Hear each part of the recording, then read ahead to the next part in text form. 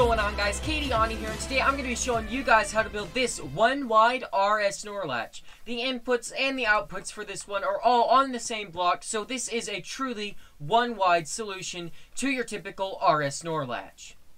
Alright, to build this one, you're going to need to get 7 of any building block. I choose to use smooth stone, but you guys can use whatever you want. 4 redstone repeaters, 3 redstone torches, and 3 redstone dust.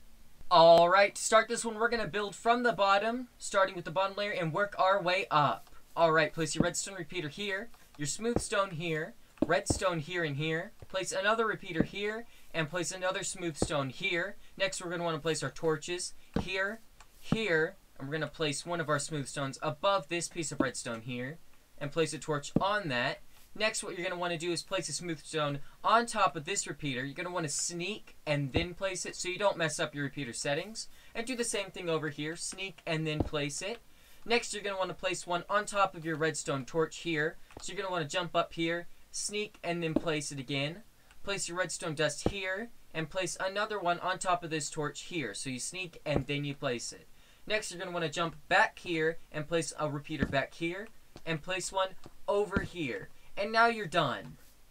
Alright, now that we've seen how to build it, let's see how to use it. So you're going to want to place a block here to place whatever redstone or lever you want to use. I'm using lever, but you can use redstone from any input.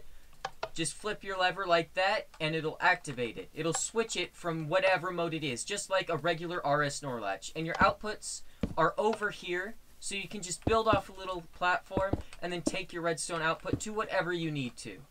Alright, thank you guys so much for watching. There's a playlist in the description and in the outro leading you to all of my one wide redstone contraptions. I'll see you guys next time.